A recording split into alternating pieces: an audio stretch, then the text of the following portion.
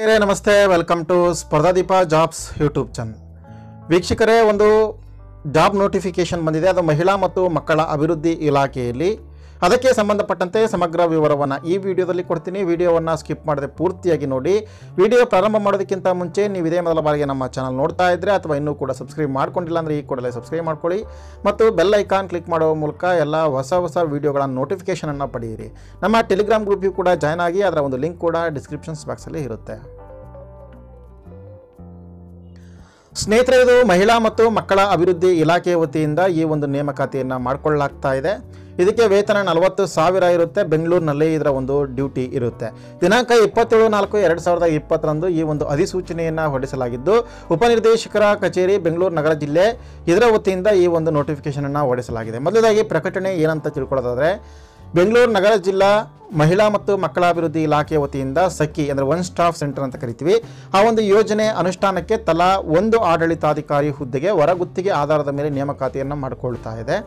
ಇದಕ್ಕೆ ಅರ್ಜಿಗಳನ್ನು ಕೂಡ ಆಹ್ವಾನಿಸಲಾಗಿದ್ದು, ಅರ್ಜಿಯನ್ನು ಸಲ್ಲಿಸೋದಕ್ಕೆ ಕೊನೆಯ ದಿನಾಂಕ ಮೂವತ್ತು ಮೇ ಎರಡು ಸಾವಿರದ ಇಪ್ಪತ್ತು ಆಗಿದೆ.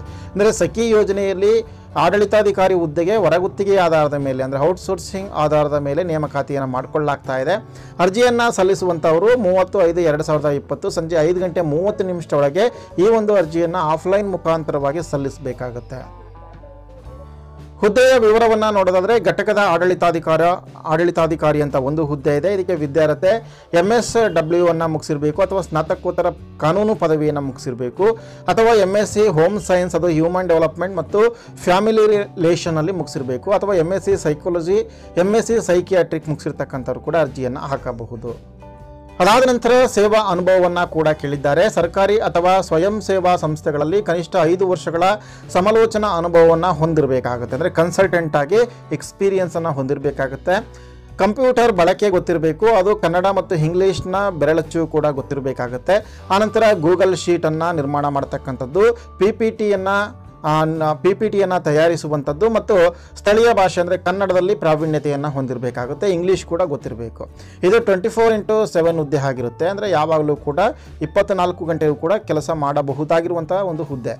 ಇದಕ್ಕೆ ಗೌರವಧನ ಅಂತೇಳಿ ಮಾಸಿಕವಾಗಿ ನಲವತ್ತು ಸಾವಿರ ರೂಪಾಯಿ ವೇತನವನ್ನು ಕೊಡಲಾಗುತ್ತೆ.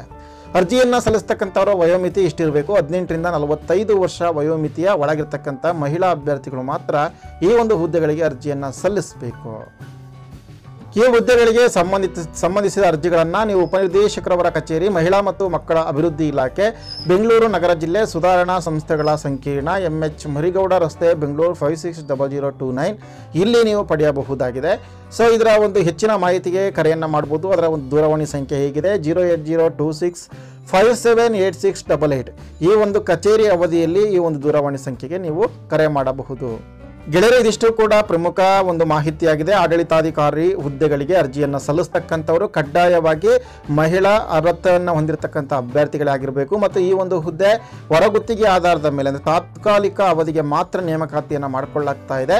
ಪ್ರತಿ ತಿಂಗಳು ನಲವತ್ತು ಸಾವಿರ ರೂಪಾಯಿ ವೇತನವನ್ನು ಕೊಡ್ತಾರೆ. ಅರ್ಜಿಯನ್ನು ಸಲ್ಲಿಸುವಂಥ ಆಸಕ್ತ ಮತ್ತು ಅರ್ಹ ಅಭ್ಯರ್ಥಿಗಳು ಕೊನೆಯ ದಿನಾಂಕವಾದ ಮೂವತ್ತು ಐದು ಎರಡು ಸಾವಿರದ ಇಪ್ಪತ್ತರ ಸಂಜೆ ಐದು ಗಂಟೆ ಮೂವತ್ತು ನಿಮಿಷದೊಳಗೆ ಅರ್ಜಿಯನ್ನು ಸಲ್ಲಿಸಿ. ಈ ಒಂದು ಮಾಹಿತಿಯನ್ನು ಎಲ್ಲ ನಿಮ್ಮ ಸ್ನೇಹಿತರಿಗೂ ಮತ್ತು ಗ್ರೂಪ್ಗಳಲ್ಲೂ ಕೂಡ ಶೇರ್ ಮಾಡಿ. ಇದೇ ರೀತಿಯ ಹೊಸ ಹೊಸ ಹುದ್ದೆಗಳ ಮಾಹಿತಿ ಮತ್ತು ಸ್ಟಡಿ ಮಟೀರಿಯಲ್ಸ್ ಅವಶ್ಯಕತೆ ಇತ್ತು ಅಂತಂದರೆ ನಮ್ಮ ಚಾನಲ್ನ ಸಬ್ಸ್ಕ್ರೈಬ್ ಮಾಡಿ, ಬೆಲ್ ಐಕಾನ್ ಮೇಲೆ ಕ್ಲಿಕ್ ಮಾಡಿ. ಎಲ್ಲ study materials P D F ರೂಪದಲ್ಲಿ ಬೇಕು ಅಂತಂದರೆ W W W dot K P S C jobs dot com ಈ ಒಂದು ವೆಬ್ಸೈಟ್ಗೆ ವಿಸಿಟನ್ನು ಮಾಡಿ. ಈ ವಿಡಿಯೋ ಇಷ್ಟ ಆಗಿದ್ದರೆ ಲೈಕ್ ಮಾಡಿ. Thank you.